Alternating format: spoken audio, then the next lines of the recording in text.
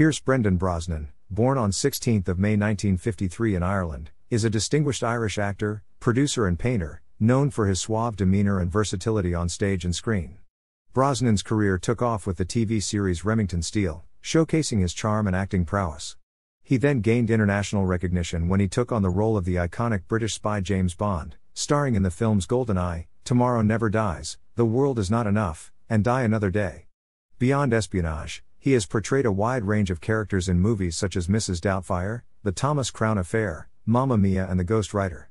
He is a UNICEF ambassador and an advocate for AIDS and cancer awareness, as well as ocean conservation. In his free time, he is a keen painter.